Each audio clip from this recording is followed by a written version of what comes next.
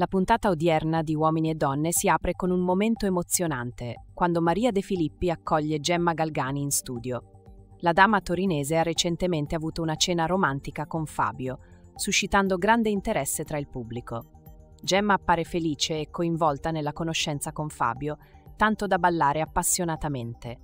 Marcello e Giada raccontano la loro relazione in evoluzione, con Marcello che si mostra cauto nel prendere decisioni importanti. Alessio e Prasanna affrontano attrazione e sospetti, con Maria De Filippi che cerca di far riflettere Alessio sulla mancanza di attrazione da parte di Prasanna. La situazione si complica quando Prasanna riceve l'attenzione di un nuovo corteggiatore, William. Il trono di Martina de Johannon è pieno di colpi di scena, con Gianmarco che esprime il suo disappunto per la mancanza di attenzione da parte della tronista. Ciro sembra guadagnare terreno e Maria De Filippi organizza un piano per creare tensione tra i corteggiatori, portando Gianmarco a lasciare lo studio. Martina si trova a dover affrontare le conseguenze delle sue scelte.